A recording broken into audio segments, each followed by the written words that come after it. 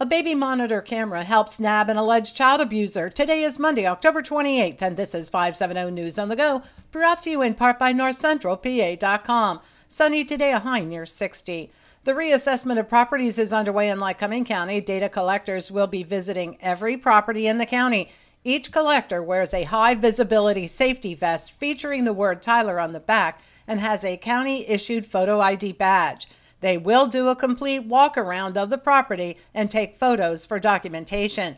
Once the assessment is completed, the new assessed values will become effective in Lycoming County in 2028. An assault that was captured on a baby monitor camera leads to the arrest of a Jersey Shore man. Seth Reese was tasked with watching the 19 month old son of the woman he was living with while she went to the store. Once at the store, she received a notification on her phone from the baby monitor and observed Reese allegedly picking up the child from the crib and throwing the child back into the crib, causing the toddler to strike his head. The woman rushed home where Reese tried to assault her before leaving the residence. The child was treated in the emergency room. Reese is facing charges of endangering the welfare of a child, reckless endangering, and harassment. He's free on bail. Khalifa Watson is charged with aggravated assault and resisting arrest following an incident at UPMC Williamsport. Police allege the 46 year old Williamsport woman was asked to leave the hospital but became combative and refused to leave. She struck one security officer in the face, breaking many teeth and injuring his thumb and wrist. She waived her preliminary hearing to face further court action and is free on $50,000 bail. A fugitive from justice from Lycoming County was captured near Lewisburg after being found hiding out in a vacant home. 25 year old Michael Good of Williamsport was taken into custody after several police officers found him under several blankets and covers inside the vacant home at an undisclosed location in Union Township.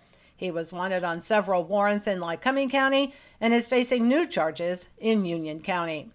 Tonight is the second and last meeting to discuss a possible merger of two Clinton County townships. East Keating Township wants to merge with Noyes Township. Residents in both townships will see a ballot question on Tuesday, November 5th, asking if the townships should merge. Tonight's meeting is set for 7 p.m. at the Renovo Fire Department. 22 applicants from 14 countries became naturalized citizens in a special ceremony at the federal courthouse in Williamsport Judge Matthew Brann, Chief Judge of the United States Middle District of Pennsylvania, oversaw the naturalization ceremony. The 22 naturalized citizens took the oath of allegiance before reciting the Pledge of Allegiance. A unique presidential race poll is mirroring the tight presidential race in downtown State College at the Sweet Tooth Bakery.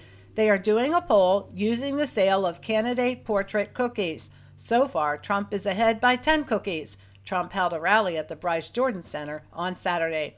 And the coveted Grower of the Year award goes to Dave and Carol Stelts of Western Pennsylvania. They won at the 29th annual Ohio Valley Giant Pumpkin Growers Weigh Off. They had three pumpkins that weighed a total of 7,729 pounds. The Stelts' largest pumpkin, 2,731.5 pounds, was just 18 pounds shy of the current U.S. world record. Now that's a lot of pie. For the latest in news and events, head on over to northcentralpa.com. I'm Liz Brady, and you're up to date with 570 News on the Go.